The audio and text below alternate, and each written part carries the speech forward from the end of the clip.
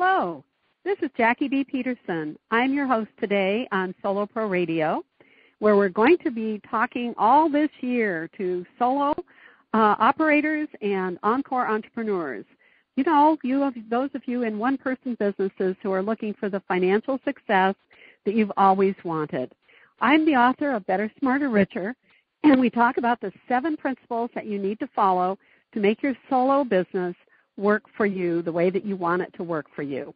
Please go to the website, bettersmarterricher.com, sign up for our free newsletter, download the free ebook, buy the book, and start doing the work. Better, Smarter, Richer is a fill in the blanks workbook, and it makes you think about what it is that is holding you back from the financial success you're seeking. Also, join the conversation on the blog. It's a very active conversation going where we talk to and listen to uh, solos who are all over the country making their solo businesses work. So today we are really blessed to have Gay Mitchell. Gay actually could be a poster child for Encore entrepreneurship. She's going to tell us her story about how she was re- really burned out after 23 years as a teacher and she turned to art. She got her master's degree in art therapy from Marylhurst University, thinking that she would be able to get a job at a clinic working as an art therapist. But we know about jobs. There were no jobs. So Gay created her own work, really entrepreneurial Gay. She set up a studio in her home, and now she teaches art to kids, weaving art therapy into her lessons. She now works part time and has the hours she wants, and she is able to paint and to travel. Sounds like a great success to me. We're going to be interested in hearing this story. Hello, Gay. Hello, Jackie. It's nice to meet you. Well, it's nice to meet you too. And it sounds like, as I see, you've got a terrific encore entrepreneur story for us. But uh, before you do that, why don't you tell us your background, like where you grew up, where you went to school, how how, how you you know what you did as as a teacher. Well, I grew up in the 50s and I always wanted to be a teacher. In in the 50s, the only working women I knew or heard about were either teachers or nurses. So my parents asked me which one I wanted to be. Well, I was not comfortable around blood and I did love school, so I just assumed that I would become a teacher. Growing up the oldest child in my arm, army family, we were constantly moving. So I went to seven different schools growing up and teachers provided a sense of security and belonging each time I entered a new class. So I wanted to do that for other children. Uh, one time I was babysitting my two younger brothers when we were exploring in the Black Forest of Germany. I found an old shed and led them there, so I decided I could teach them all day in this shed. well, my brothers, my brothers were stuck, and unfortunately, the door jammed. So I did teach them all day, but they didn't oh, like my. that lesson. for, fortunately for us, the military police found us within a few hours. But I don't think my brothers remembered a single thing or liked anything I taught them that day. No, um, I'm sure they didn't. No. but I didn't give up. When it was time for college, I majored in elementary education as a natural major and graduated with my teaching degree during the recession of 1975. So I also coincidentally became engaged, and um, my fiance, my husband, and I moved to Pennsylvania, where once again the only job I could find was not teaching elementary school. So instead, I taught preschool in the Appalachian Mountains while I was also the school bus driver. I got to do both. Oh my goodness. Yes. Oh my goodness. Quite, it, wow. It was quite an an adventure. I only had seven students, so that made it doable. Um, I had just never driven a school bus before. But it all worked out, and my students were very poor, but they were very interesting. So I learned a lot that year. And after that, wow. we we uh, decided to move back to Oregon, where my husband was born, and he then started law school in Eugene. Well, I didn't get a public school teaching job, but I did get a private kindergarten teaching job, which I did until he graduated. Then we moved to Portland.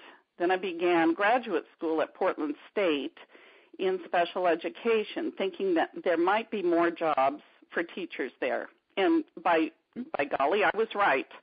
So after graduation, I got a job and I taught boys in a residential treatment center at Waverly Children's Home here in Portland. Oh my goodness. Wow. Yeah, I've, ha- I've had quite a journey. The next you year, have. and it's continuing. The next year, a job opened up in Portland, teaching in the public schools in a resource center for kids with learning disabilities. So that was a position I enjoyed, and I did it for about 10 years as I raised my family. And then the the rest of the story I've given you, I I continued and eventually got burned out, and now I've discovered art, and I'm starting a new journey. Yeah, so so let's talk about that uh, a little bit. Um, so it wasn't that you were like it must be middle school and high school where you are a you know a geography teacher or a history teacher. So you were the classroom teacher in elementary school, so you were teaching all kinds of subjects. Is that right? Yeah, I did several different things. When I taught special ed, it was mostly reading and math, and I did that Mm, for 13 mhm. years. Then Uh-huh. I tried. I did try regular um, grade teaching. I did first grade, second grade, and kindergarten for my last few years. Oh my goodness. Well, and you took on it sounds like quite a few places where you had uh, difficult students, and um, you know you were really intensely involved. And it sounds like you had a right to get tired and burned out. To me. Yes, because the jobs were with the most difficult kids in those days. And it was not Yes. unlike this time. It was a recession when I started, much like it is today. Wow. So, Gay, then you know you retired from teaching, and and uh, talk about how you discovered art and painting. Had, had you done painting before? Had you been an artist? Were you a No, I've never been an artist. No, but that's a very good question. Um, I was so lucky when I was young. I had a grandfather who was a professional artist, and I only saw him, visited him probably five times because we lived as an Army family very far from him. But during those five visits, he gave me art lessons on his front porch as he smoked a cigar. And those were just such memorable um times for me and he gave me this love of art and after i left i think i started maybe at age four he said i want you to mail me a picture that you've made every week and i will give you feedback and he did every week oh my goodness. i Oh my goodness. this picture and he would you know critique the color always very positively. That went on for years. So i had private art lessons by mail. But then And he you was know, an artist. and he was a professional artist yes. Oh um, my goodness. in missouri. And then he he passed away shortly after that. And then i had this long dry period where i was teaching and i didn't do art. But luckily i had i met a neighbor who was a professional artist who became my friend and she gave me watercolor lessons after my work day. I just would go over to her house, and so it, I I just picked up right where my grandfather had left off, but with like a, a you know thirty four years. yeah. So your art was always always in your life, just um, kind of as an avocation or a wonderful hobby, a beloved hobby, as I like to call things, something Yes. that you really enjoy doing. And you know, I was thinking about that. Um, you know, working with your grandfather way the way that you did. How wonderful to have that kind of a contact with your grandfather on a regular basis, where somebody was paying attention to the work that you did and and responding to you know what you you sent to them because i can tell you as a grandparent and maybe you're a grandparent too we just struggle for ways to be involved in the kids lives and there your grandpa just did it so yahoo how Yahoo fantastic is for right. you Yes, I was so fortunate, and I am not a grandparent, but I'm yearning to be one, and that's exactly what that's exactly what I would do with a grandchild. I would find. Oh you know, well, you've given me a clue because I can tell you there's absolutely nothing like it. Um, you know, to have a grandchild, it's it's you know you have a chance to share all the wisdom that you've uh, spent your life acquiring, and share it in a way that um, you know is not pedantic, but rather in a way that is open and and loving and giving, and you know, and both sides benefit from that. It's a fabulous relationship. well, so I I get, what- get to. I'm sure you will. I'm sure. So, so uh, what led you to the Marylhurst program then? After Well, you that- quit your teaching? That's an interesting story too. We lived in West Linn, just a block away from Marylhurst University. So every night after teaching, I would go for a walk on the campus. And one day I came upon the art therapy building just uh, during my walk and became interested. And I started reading all the different flyers on the building and watching students come in and out and became very curious because I'd never heard of art therapy before. And I knew that I, at that time I was burned out on teaching and that I wanted to do something else. So I started at, you know, um, contacting the university, asking for materials, and before long I had an interview and you know they had hooked me by by then and so i started with just one class you know in the evenings and then i finally said you know this is what i'm really interested in and eventually i entered the program and you know quit my teaching job.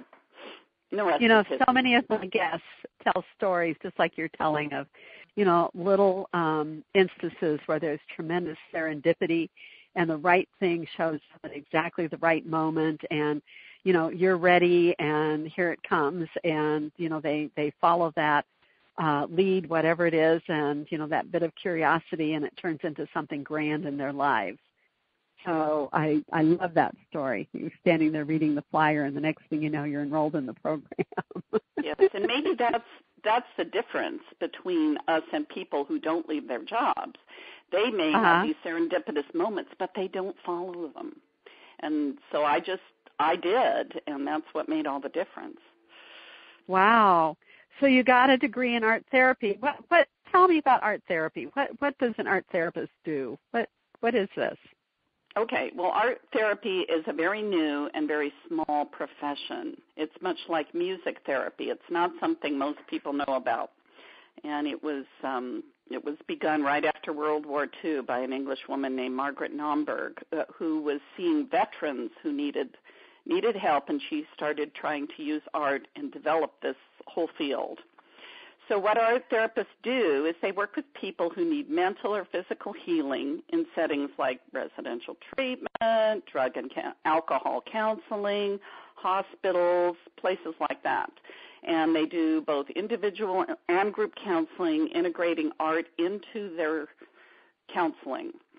So it's kind of um it's a combination of clinical psychology and artwork. It's it's hmm. really coming from both fields. So in the Marylhurst program, there is there are years of clinical psychology embedded in the program. It's actually very very clinical, and the art is sort of secondary but so, uh, there are programs throughout the country now, and they do different combinations of the two. So some of them are more art based and less clinical, but the Marylhurst program is very clinical. So, so eh, you know, give me a picture of that. So, your the classes that you took were heavily, uh, you know, sent towards clinical psychology. But then, would you talk about what kind of, say, an art exercise or an art assignment might help somebody bring out an idea, or would it be teaching you how to read the art that somebody produced to understand what was going on for them? I mean, how does that work? This is the challenge trying to trying to explain how it works because yeah. it's a little it's a little bit mysterious how and why. I mean there there's a mm-hmm. lot of research on art therapy and it's documented but there's a magical thing that happens that's hard to explain. Um, I did a group in Nicaragua this last winter, and I taught professionals how to use art therapy with elderly clients in assisted care mm-hmm. So that they have something to do. And here is an example of um, a lesson or an art therapy project. Mm-hmm. I made these blank circles, uh, large circles with Sharpie pen and then did different designs inside. They're called mandalas. And mandala mm-hmm. is a symbol of healing because it's circular and makes the the artist feel secure. So just coloring inside the circle, whatever is the design, can be very soothing if they keep at it. So that's all I did for mm-hmm. an hour, and these people mm-hmm. were transfixed. They did So you you laid the pattern out, the mandala pattern out on the mm-hmm. circle, and they colored it. Well, here's oh, part wow. of the deal. Here's part of the deal. There has to be choice by the uh-huh. the the patient or artist. Mm-hmm. They mm-hmm. choose the mandala design that they like. It's always got to be personally meaningful to them If they don't mm-hmm. like the design, it's not going to be very therapeutic. So they choose the one they like, and then they can color it in any way they want. And throughout that process, they are soothed. Sometimes they'll start talking. They haven't been talking for a long time. Um, it's a little bit hard to describe, but it was a highly yeah. successful lesson. And every single one of them participated. Even men who didn't want to do art eventually joined in. And um, that's a, just one example of an art therapy exercise, and it works for almost everyone I've found. Well, that's fantastic. That is really fantastic. So it sounds like you're having great adventures with this. Um, if you're going to Nicaragua to teach, that that doesn't sound so bad to me as a second it wasn't career. bad at all. the weather was the weather was perfect every day, so that didn't hurt. Yeah, yeah. So are you doing more of that? Are you are you traveling with your art therapy? You know, I'm hoping to. This is again one of those serendipitous connections. I didn't look for it; it just came to me um, mm-hmm. through a connection by my husband who's on a board at Clackamas Community College. And there's a woman who runs these programs, and she just one day talked to him about it. He told her I was an art therapist. She called me up. She said, "We'd like you to come and and and uh, share this with our assisted care professionals because there are no art therapists in Nicaragua." So I basically right. introduced it, and um, if if I if he hadn't known her, this wouldn't have happened. But it, I, again, it was serendipity. I said yes to something I knew nothing about, and it was it yes. was a wonderful experience. Yes, yes. Oh, isn't that wonderful?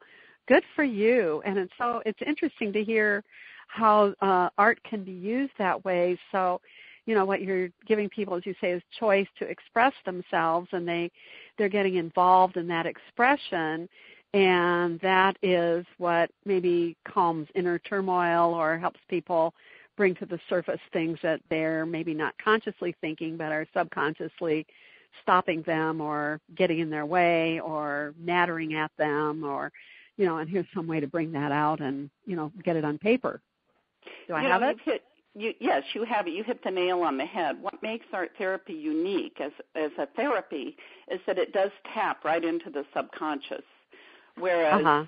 some kind of an art project, like making Valentine's on Valentine's Day, will not do that. But if it's art that's chosen by the person and is meaningful, then it, it taps into the subconscious. That's what makes it such a, a valuable tool. Hmm.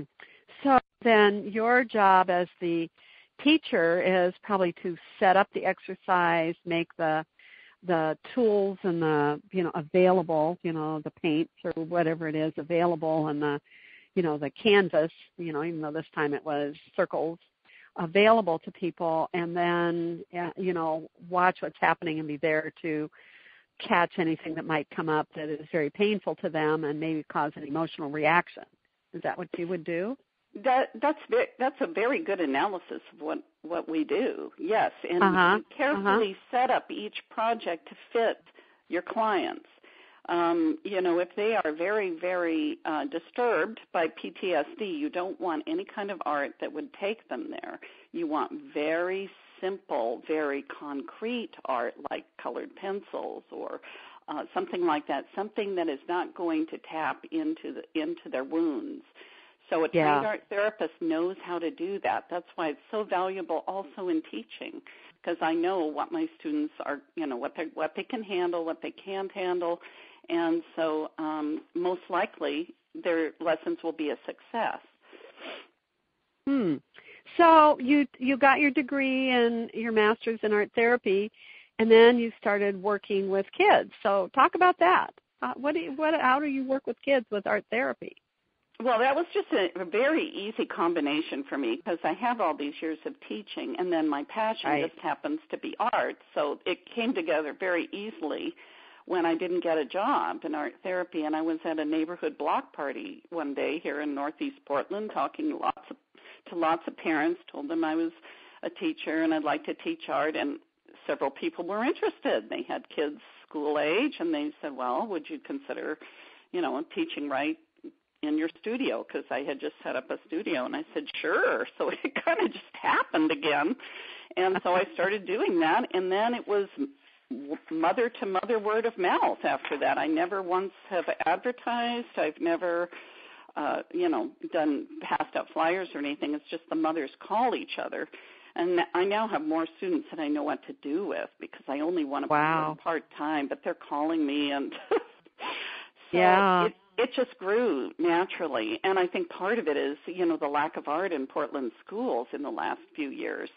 They're really hungry for really good art instruction for their kids. Oh yes. So you're you're basically teaching them like the basics of color, how to draw, you know, perspective, you know, different tools. Is that what they're learning?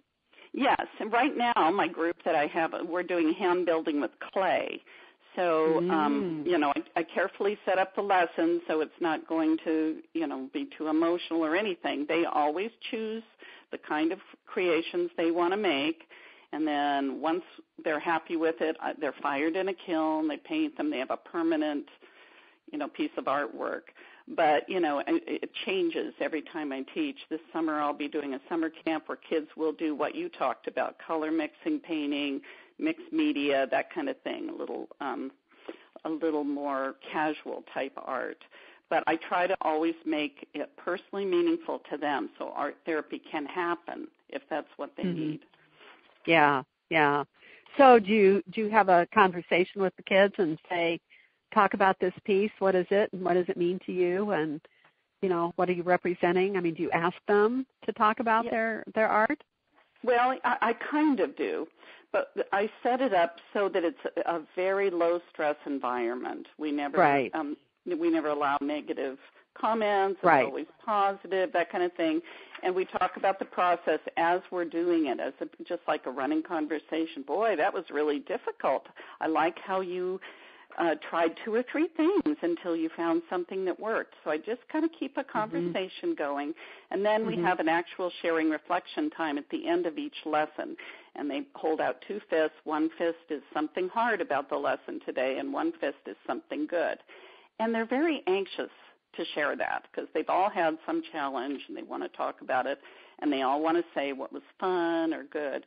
So every single lesson ends that way. And I've never. Oh, that's very smart.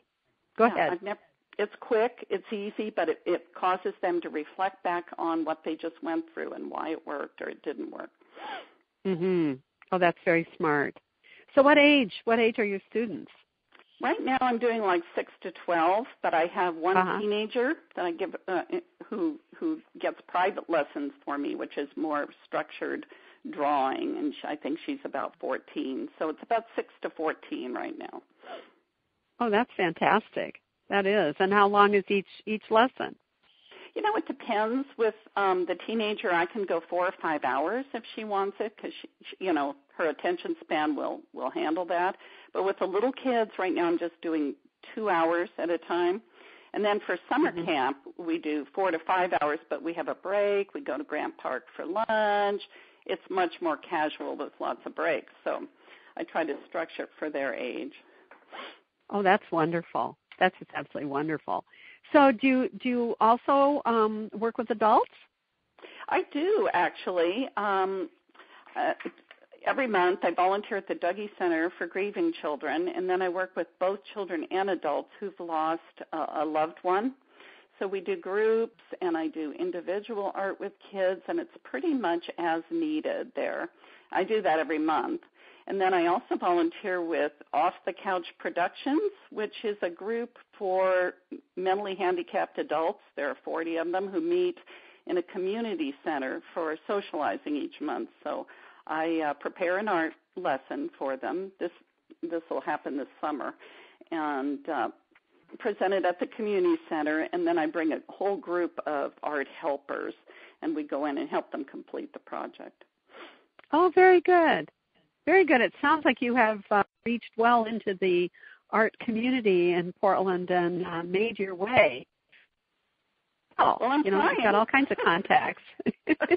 I've been here a while, so that helps a lot. You know. Yeah. I've worked in the community and everything. So yes, I'm lucky that way. I have lots of resources. Yes, and and probably a lot of your old uh, uh, teaching resources, you know, that are happy to see you back in in teaching, even if you're in another subject right now and are going, ho ho, you know, Gay was such a wonderful teacher. I'm gonna I want to tune in and see what she's doing with these art classes. What's happening for you? Yeah, I'd like to do more of that because I moved out of West Linn and up to Portland, so I don't really see my fellow teachers much. Oh, but right. I would love right. to reach, you know, reach back out to them. Oh, yes. Yes. And um I like what you're doing. So, how, you know, you said your students find you by word of mouth. Do you market at all? You know, I haven't done much marketing. Today is the biggest step I've ever made.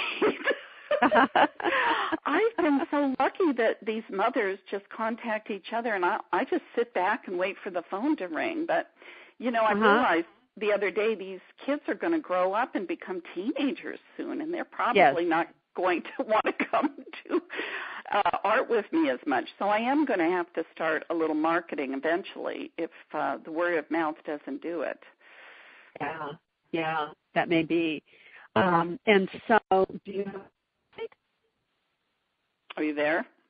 Yes. Okay, I gotcha. Do you have a website? No, I don't yet have a website. All I have is an email right now, and I'll, I will work on that, but um, it's not not up yet. Yeah, yeah, because that's usually pretty basic. You know, when you're a solo, um, you know, you, you pretty much everybody starts with a website to talk about what they do, and you might show some um, pictures of uh, pieces that your students have created. You might even put up a little video, you know, of one of your classes and what it's like, and you know, a, a page about you and your background. And I mean, it would, it, I think, it would really help you do that. And I know that uh, the people at Google tell us that 97% of people check your website before they buy from you. Wow. Isn't that interesting? Yeah. That's very interesting. Yeah, that's not shopping anymore. You know, it used to be we'd look in the yellow pages, but we don't do that anymore. Now we just go to the website and check you out and you know, they they see your picture and they learn a little bit about your background and you know what kind of programs you're doing and and then they call you, you know, to talk about what's up. So that's probably going to be a wonderful place for you to get started and um think about doing that. I yeah, that's would, probably that would probably be my next step if I'm smart is is to work on that because this word of mouth will only last so long. I can't yeah. rely on only that. Yeah. Yeah. Yeah. So have, have to reduce research that and figure out how to get into that. Yeah, and and there's lots of people that can can help you. And um you know having your art background you're going to want to have a lot to say about the design i'm sure. But you know you can hire somebody to do the help you with the technical part of it and then um even have somebody help you polish the copy that goes on it you know because right. it's made up of pictures and words. And uh i would bet you have wonderful pictures and you know you probably want somebody to help you write the copy and make sure that it um you know brings people to the site but it's a pretty it's a pretty wonderful thing and as i say that's how most people are shopping these days the other wonderful thing about a, a website is it um, makes you global. You know, you're you're then out there not just to your local neighborhood or even to your city, but you're out there for sure in the region. And you might be out there in, in broader places than that and build a community with other art therapists who are working with kids and, you know, um, are very interested in what you're doing and, you know, contact you and say, "Gosh, would you like to come teach in London?" you know? it makes things nice. like that available to you too, which would be yeah. pretty wonderful. Yeah. Well, I, you I know? just need to figure out how to do that, and that would be a smart next step for me. Yeah, I think it, I think it would. I think it would be a very wonderful next step for you to do that. And um, you know, because it sounds like what you've done, Gay, is more than gotten your feet wet in this business of yours and you're really beginning to make it work for you. And uh, taking some of the steps to you know solidify it would be a, a very good thing to do. And it moves it from being this is just something casual that you do with because the kids happen to show up to something where you know you're saying okay i'm intentionally uh, building this business and there's places i want to take it there's messages i want to deliver there's people that I want to meet and actually maybe places that you want to go and teach like you did in Nicaragua. So you know, it's it's it's a, a route to do that, and I think you'd find it very helpful. So, so talk about yeah. So I, you know, I'm a business coach. I can't help it. I probably need someone like you to help me right now. Yeah. There you go. I do that a lot. Yeah. I bet you do. So, yeah. So in your in your art classes that you do with the kids, um, you told us a lot about how you structure them. So did they run for a certain period of time, like ten weeks or three months or you know a month or you know something like that? Is is that how you've got that working? Well, how it's worked for me is it started in the neighborhood. So what I do yeah. is I structure them around the school year. So I do a fall session, which runs from the you know September to Christmas time. Then I do a win- you know, sometimes I do a winter session. But uh, being semi-retired, I always take off one season. So right now I do a fall session, a spring session, and then a summer camp. So mm-hmm. spring, the fall and spring sessions are two hours long after school. So the kids from my neighborhood walk right from the neighborhood school to my house. And then Oh, nice. yeah, and then their parents walk because they're all in the neighborhood at you know right before dinner time and pick them up. So it's really convenient doing it that way. And then the summer camp is the same way. A lot of them walk to my house. They bring their lunch. We have lunch at noon, and then their parents pick them up afterwards. And those are more like four hours at a time. And I just do a week for the camp. So that's all, that's the way I've done it so far because I have to work around the, the school year and the school sessions. Sure. Oh, that's just absolutely fabulous. You know, in addition to your website, here I'm growing your business for you. You know, there's some. Um, like well, that. You know, yeah, that's this is what I do, by the way. Good. uh, it's part of the better, smarter, richer, and helping solopreneurs. You know, the other thing, once we get your website up, see, it now it's become we. I um, like that. once once you get the website up, there are a lot of e-tools for you to explore as well. You know, you um, might find ways to do some of your lessons um, uh, via video or webinar or teleseminar where uh, people could be working with you just like you worked with your grandpa and mm-hmm. you could be teaching a class and people would tune into it on their computer and then they could take their art, their piece of art and mail it to you or send it to you in some way and you could critique it or they could be even tuned into you on the computer and hold it up to you and talk to you and you could talk about you know their choice of color and their choice of shape and things like that. I mean the e-tools are so absolutely fantastic anymore that you're not limited to working in your neighborhood. And i suspect you have a very special gift with this and that if you um, wanted to reach out you know beyond your your Northeast Portland neighborhood, that you would find welcome acceptance um, in many places, and you could find the e-tools that would help you work with, um, you know, more remote groups groups of people. I mean, it's happening all the time. Yeah. Uh, you know, the, I, the e-tools are fabulous. Yeah, uh, that sounds like another good step for me to take next because when you were talking, I had this idea think of all the homeschooled kids out there whose mothers want them to get art but don't know how yes. to teach art. They could yes. then tune in to this e-tool and I could be on there telling them how to do it, how to integrate art therapy if they want to do that, and then they could teach it to their homeschooled child and I there's probably a big market out there for that. I think there's a huge market for that you know i i really do. And uh i think people as you've said before are hungry for art. And uh you know it's one of those things that uh got dumped out of the schools so unceremoniously you know art and music left uh and people are just absolutely hungry for it to have that enrichment in their lives. And uh i i think it makes the uh the stem you know the science technology engineering and math it makes it bearable okay? It's what is the softness that goes with it. And you say well why are we creating all these uh, structures and all this engineering and all this problem solving? It's so that we can have a life that is enriched with you know color and shape and form. I mean you know uh, we have both left brain and right brain. And right. uh, to be whole people. And uh, I, I would think there would be great welcoming of um, your gifts with this to the learning community. So I hope I'm planting a little seed here. oh yes, yeah, there are a couple of seeds that have been planted there.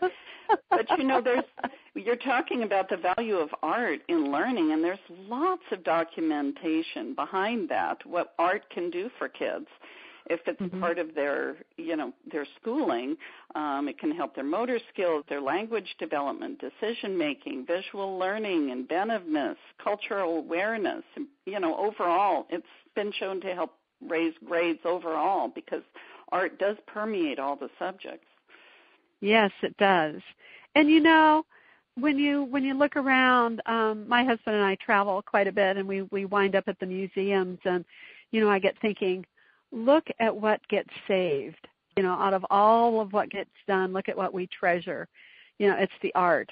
You know, it's the pottery, it's the statues, it's the paintings, it's the, you know, the the shields, the drawings, the, you know, the jewelry. I mean, this is what we treasure. You know, that have that has come down through the ages. We treasure what people have built and the art that they made, and you know, we treasure it so much we we put it in museums you know, for us to look at because this is this is what, you know, as um, points out to be a society. So you're doing important work, Gay. Well, I hope so.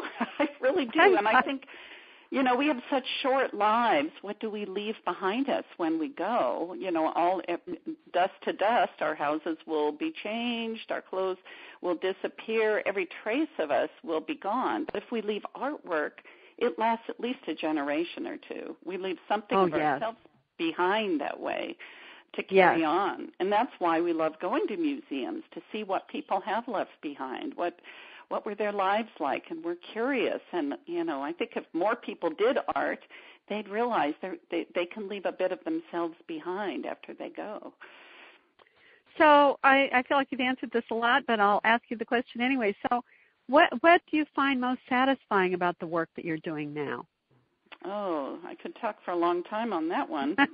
um, now, with what I'm doing now, I can teach exactly the way I want to, what I want to, when I want to, and I can do all of that without any bosses, report cards, boring staff meetings, um, all of the bureaucracy that goes into public school, I, I can just finally do it my way, and I can use what I've learned and and I think is good for kids instead of having to meet a statewide curriculum. You know, I don't have to do standardized tests, and I used to have to do all those things. Plus, I get yes. to watch. Plus, I get to watch my students as they grow because I keep them usually for a couple years and I watch them progress over time, which you can't do as much in grade school. You have them one year and then they're gone. But I get to watch them develop a little bit and grow and learn to love art and, you know, become adults and all of that. Oh, that's wonderful. I mean, you're quite eloquent about it, and you made a great case for entrepreneurship you know, I get to do what I want, when I want, how I want, you know, right. without a bureaucracy. but you have to realize also that it took me a long time to get here. I mean, yes. you know, I'm I'm in the second half of my life, and it, it, it's taken a while. So it'd be nice if people didn't have to go through all that. If they could just jump right into it. Yeah, I you know I don't know. I think that that there's a lot of value in that in that growing learning process, um, you know, and that wisdom that is gained uh, spending the time exploring other routes and, you know, finding out this didn't work or something could work better. So, uh, yes, we want to allow people to get to being ex- able to express themselves earlier, but you know, there's value. There's value in all that time that you spent because I'll bet you're using every bit of it, you know, in how you're teaching the kids now.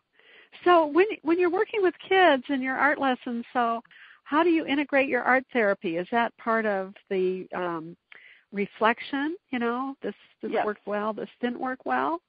Yes, and that's that's a big part of it. And I think I talked earlier about how we have a discussion going during the art project. Um, mm-hmm. Because I always want to hear how they're doing, if something needs changing or doesn't need changing. Um, so it's kind of an ongoing discussion. And then the art therapy is just woven into it the way I structure the lessons. Like the mandala example is a good one. Mm-hmm. So I mm-hmm. structure the act, the experience to be therapeutic for them by the the choices of materials and subject matter and all of that. And then the the real therapy, I think, comes at the end of the lesson when they reflect back and they share the hard thing and they share the good thing, and it, it starts to compute in their minds that yes, I can do hard things now. Yes, I can get through them. And yes, when it's over, I can see something good of it. So the idea is then for it to play out in their lives in other ways. And uh, it's it's the sharing time at the end where I'm hoping that connection is made. Oh boy, that's great.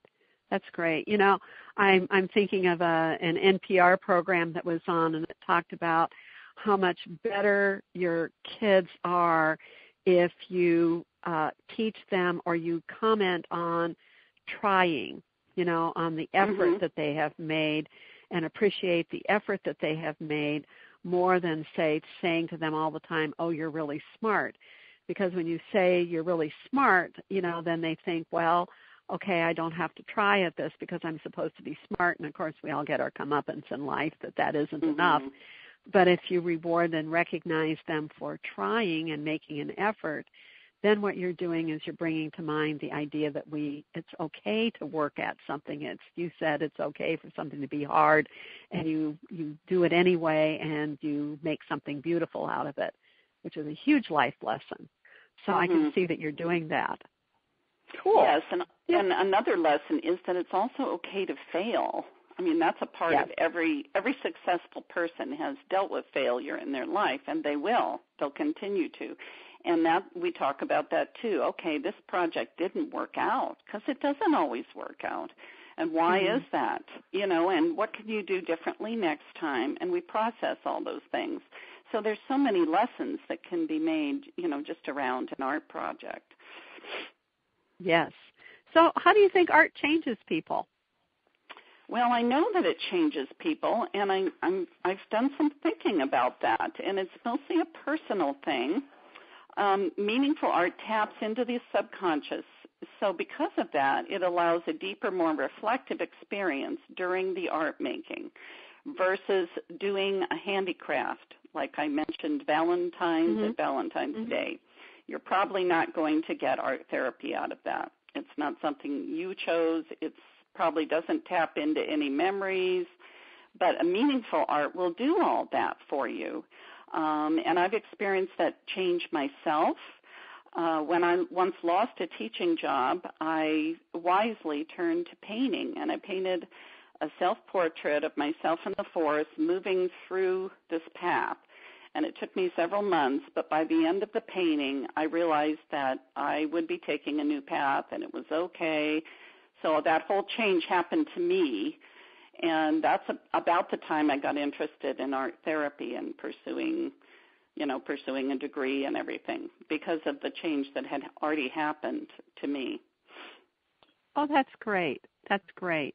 That's a, that's a wonderful story to tell, and I, I'm I'm thinking about as you were talking. I'm thinking about experiences I've had with people where you do a collage, you know, and you just it's not the the same as painting something but you know you cut out pictures and then put tell, make the pictures tell a story of where you are in your life and how wonderful that is you know for making a picture of what you're looking for and where you want to go so i yeah, i i don't too. yes it does so i don't have to worry about the answer to this question but i'd like you to talk about it anyway um my question is do you think we need more arts in the schools well, you probably know how I'm going to answer. I do know how you're going to answer that one. no surprise. yes, of course, I think we do. Um, yeah. I I was lucky enough to have art all the way through school, and my children were too. Um, they're already adults, but now I watch these kids in Portland, and um, thank goodness we have a Portland arts tax and parents who value art here because uh, you know to to lose art is often a permanent thing. Once it's cut out of a budget, it it might stay out and never come back. So um, yes, and I do see that the arts tax is making differences. I hear my kids I hear my students talk about the art lessons they're getting in school and they're good ones. Their art's being integrated into their subjects along with science and I see school artwork up in my local library. So I think we're on the road, but we've got to keep working to keep more art in the schools. Right. I was going to ask you about the Portland Arts Tax for those listeners who don't know. Um, two years ago, the city of Portland passed a measure that uh, charges each earning person in a household. So if you're earning any money, you're subject to this tax. It tra- charges $35 a year to each earning member of a household. And um, they've collected, uh, I don't know, I think like $7 million last year, and I'm not sure what they've collected this year. And the idea is for it to go to the schools. So I I I hear you saying, Gay, that you are uh, getting the impact. You can see that it is going to the schools. It's not all going in administrative and bureaucratic costs. It's actually going into the schools and for um, actual art lessons and art teaching. Is that right? That is right. I'm starting to see it. Um, at first, I wasn't sure, and then I started walking around a little more and looking in the libraries and uh, you know listening. And it looks like from what I can see, every elementary school now is getting at least one art teacher coming through. So that probably translates into one half day a week. But it's every week, and they're, it's a good. It appears to be good quality art. Like I said, it's going to relate to if they're studying bugs, then they'll paint these different bugs, and it's all integrated so that you know the art is um, part of the whole school. And, and I think I'm hoping that we're on the road to more of that, but it's a good start. Oh, that's great. So that might be, you know, something else if you're looking to grow your business is to um, uh, get into that system as well. You know, I can grow your business pretty big if you want to do that. I know. I'm not sure that's what I want, but yeah, yeah, I can imagine. I can imagine. So um, we're we're going to be shortly out of time. I know it's hard to believe. So, do you have anything you'd like to add to the conversation we've had so far, or any uh, ideas or advice you'd like to give our listeners? Anything that comes up? Well, I would just uh, encourage parents who value art to get lessons for their kids because um, they're they're getting a, a tidbit at school, but I have kids who would love to do it every day, and now is the time mm-hmm. to grow that seed so that they don't drop art when they become adults. I'm sure you know adults as I do who say, "Oh, I can't draw a straight line," or "Oh, yeah. I have no artistic ability." And see, I don't believe that. All mm-hmm. it takes is one teacher making a negative comment, and some some people turn off art for the rest of their lives, and that doesn't have to happen.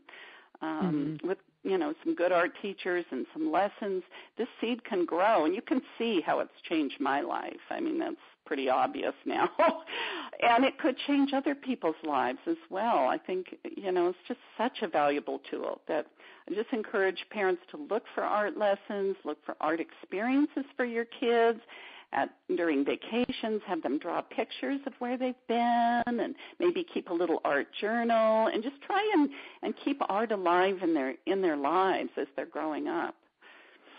Well, it sounds to me like you are full of good ideas, and uh, I think that your students are very lucky to have you.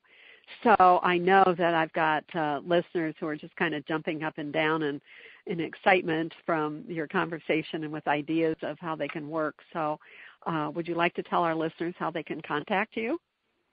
Yes, I um, I have a phone number, and they can feel free to call me. My phone number is five zero oh three five nine three seven six four five. My name is Gay Mitchell, and I also have an email address. And my email address is my name, Gay Mitchell, all one word, at comcast.net and I'd be glad to respond to them with any questions or hook them up with art classes. If they're in a different part of the city, I do know lots of other art teachers I could refer them to, give them ideas. So I would welcome any any questions or, or comments that people might want to make. Well, Gay, I've just thoroughly enjoyed our conversation today. It's been enlightening and inspiring and um, just uh, full of good ideas and thoughts and uh, I can just tell you my ideas for my granddaughter just running through my head as we Oh, talk. good. well, you Yeah, me too. I, I've just I've just thoroughly enjoyed talking with you and listeners. I'm uh, we're out of time. I know we can hardly believe that that's happening again. And I want to remind you that this is Jackie B. Peterson, and I am the author of Better, Smarter, Richer: Seven Business Principles for Solo, Creative, and Encore Entrepreneurs. Those of you who are working in one person businesses. And I also want to tell you that what we know is that one person businesses are distinctly different from the traditional businesses. And that's because traditional businesses encourage you to grow your business by hiring employees. And then the big shock is you find yourself using all your time to manage your employees and don't get to do the work that you love. And my view is you ought to build your business doing the work that you love.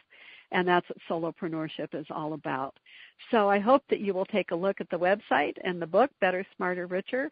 You can join a study group. We have a next study group starting at uh, Portland Community College Small Business Development Center on the morning of June 3rd from 9 to 11 a.m. Let me know if you're interested.